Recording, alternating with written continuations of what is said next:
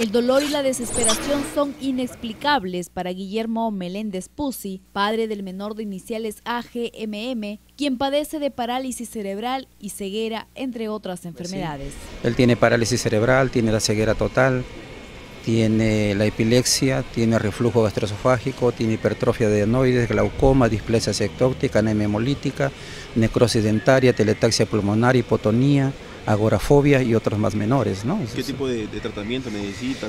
Eh, bueno, sus males de él lamentablemente son, la mayoría son irreversibles, pero sí puede haber un control para poderlos detener y no seguir avanzando. ¿no? Su recorrido casi a diario para recibir la caridad del pueblo trujillano muchas veces no es suficiente para atender las necesidades que requiere este menor de tan solo 7 años. ¿Cuánto requiere diario para...? para Mira, mi, mi, niño consume exactamente 1.200 soles mensuales. Eso es lo que, niño, eso es lo que mi niño lo, mantiene con vida, la gente que, me ayuda. Consume 350 soles en anticonvulsivantes, que es carbamazepina y gabapentina, 200 soles en acetilcisteína para que no se ahogue, 200 eh, soles en pañales, 200 soles en leche Pediasur, pago el alquiler de mi cuarto 200 soles y sus alimentos, ¿verdad?